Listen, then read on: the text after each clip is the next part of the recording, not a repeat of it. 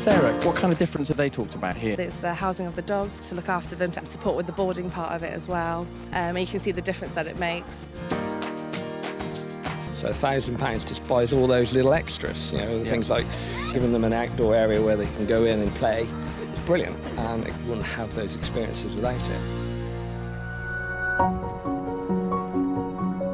£1,000 will buy a family 16 four hour respite sessions. So, for four months, that family knows every week they will get much needed time that they can spend with their other children, do the shopping, have a sleep, just time to catch their breath so that they can carry on being the best parents they can be for their child.